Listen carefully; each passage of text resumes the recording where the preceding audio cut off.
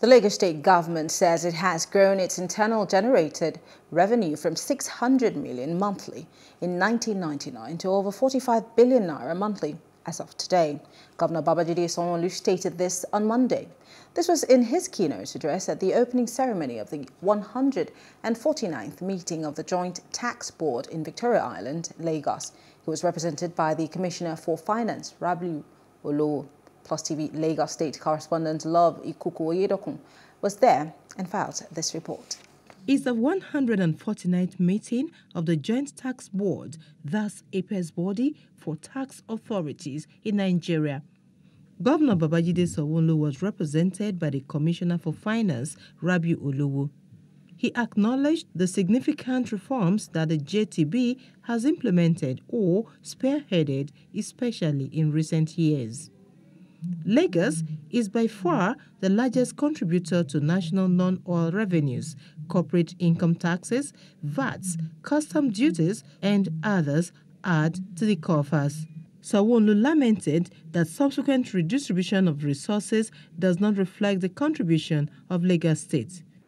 Our share in this redistribution fails to take into account the demographic, infrastructural burdens, and pressures the company being the economic nerve center of the nation and also a former federal capital territory. He disclosed that Lagos has grown its IGR with an astounding increase of 7,400%. It all began with ensuring the foundational autonomy of Internal Revenue Service is implemented whereby Lagos State Revenue Administration Law 2006 helped achieve this. Executive Chairman Lagos Internal Revenue Service is Mr. Ayodele Subair. He opened up on efforts being made to improve on tax administration and ease of doing business in the state. Technology has also become a necessity for enhanced responsibility and accountability in the tax system.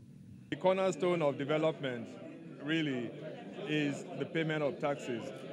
Payment of taxation is the most sustainable means of generating revenue.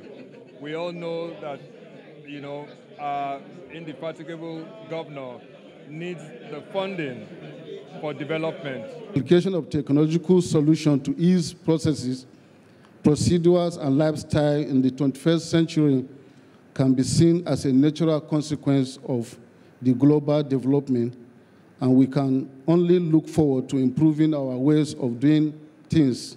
Hopefully, the deliberations from this forum will bring about practical solutions on critical revenue issues and fiscal federalism.